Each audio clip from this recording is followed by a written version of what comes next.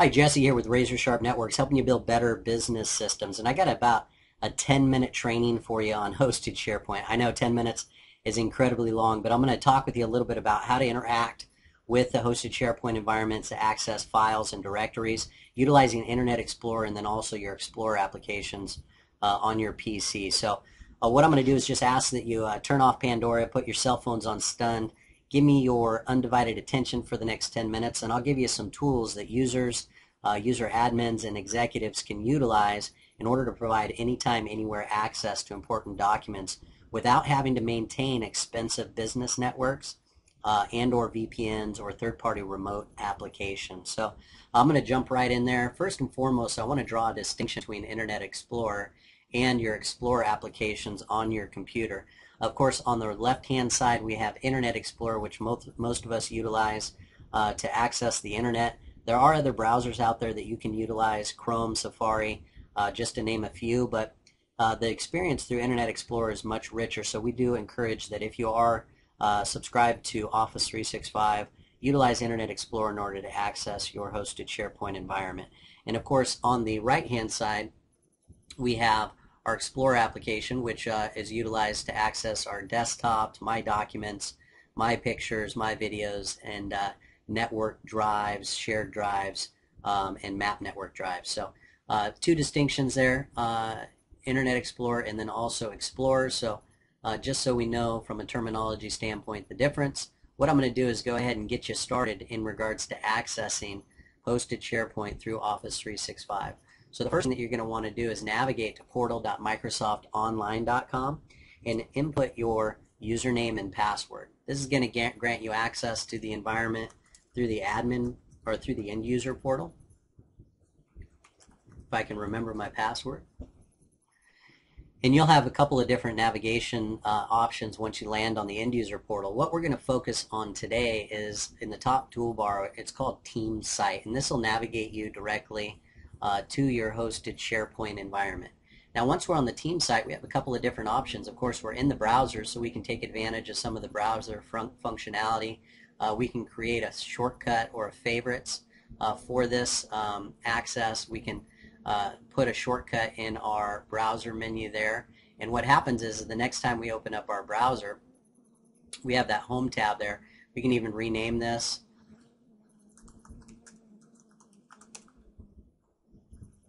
And of course, if we select on that uh, and we're authenticated against Office 365, it'll log us directly into our hosted SharePoint environment. So take advantage of the tools that you already know how to utilize. Now that you've moved your documents uh, to the cloud, uh, there's a lot of different ways that you can access this information. Now these documents are stored in document libraries inside of SharePoint, so um, you have a couple of different options in regards to management. The first option I'm going to talk with you about is managing these document libraries uh, with your browser. And up if once I select one of the document libraries inside of SharePoint, I have three options. I have Browse, Documents, and then also Libraries, which will give you access to library settings and things of that nature. Uh, today I'm going to focus on the Documents tab and also Libraries. Uh, so first and foremost, I'll focus on the Documents tab. And this tab gives us the ability, gives us the functionality that we're looking for in order to manage this directory and these documents inside of our browser. So let's say that we wanted to create a new folder. We would just select the new folder tab. Create that folder. The page is going to refresh itself and as you can see here uh, I've just created a new folder uh, inside the hosted SharePoint environment. Now in, in addition to that I can delete this folder. I can set up alerts on that. If you have questions about how to set up alerts and or delete document uh, directories, go ahead and leave those below and we'll get those answered for you at a future date. Uh, but what I want to talk with you about is how to upload documents to this document library. Now when we select the uplo upload tab, we have two options here. Upload a single document or we can upload a multiple document or upload multiple documents.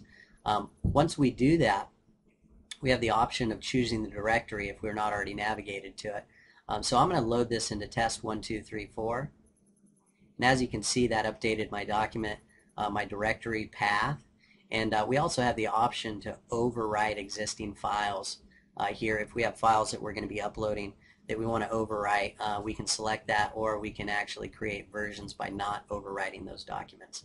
Now once I have this, this uh, page open here, all I need to do is drag and drop the files that I would like to upload to SharePoint into the um, into the browser window and then, and then press OK and it's going to go ahead and upload those files uh, to SharePoint. I select done. The page will refresh and then we'll just navigate to this directory and as you can see here uh, I have those four files that I just dragged into the browser that have been uploaded here. Now if I wanted to edit any one of these files what I would do is I would just click on it and I would uh, edit that file either in the, my client application or the program. Uh, if it was an Excel uh, file I would just go ahead and edit that in Excel or if I subscribe to Office Web Apps I could actually edit this in the browser which is an option for some customers. So I won't get into that today because again I just want to show you how to manage files and directories uh, and move from the browser interface to the Explorer interface or more of a directory interface. So now once I've uh, actually created this directory, I have a couple of different options. What I want to do is I'm going to select the Library tab up in Library Tools and I'm going to move from the browser, which is Internet Explorer, over to uh, my directory uh, program, which is Explorer. I'm going to select this tab here that says Open with Explorer and as you can see here, this opens up this document library that's hosted in the SharePoint environment in Office 365 as if it's local to my PC. I can navigate through the top navigation bar uh, back to the root directory, which is shared documents. Uh, what I can do here is um, I can create what's called favorites or shortcuts right here in Explorer.